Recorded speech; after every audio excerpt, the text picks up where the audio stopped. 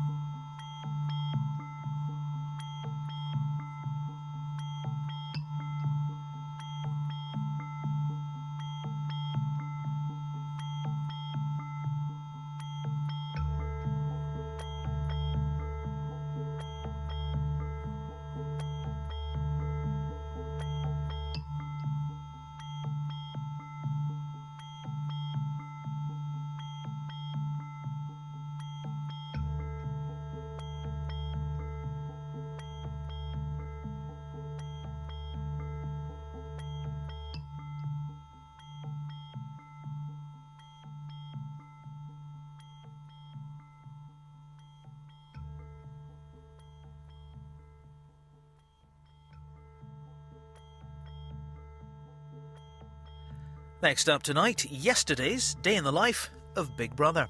Then Catherine Zeta Jones and John Cusack are America's sweethearts. Trouble is, they're anything but sweet rom com at 10 past 10.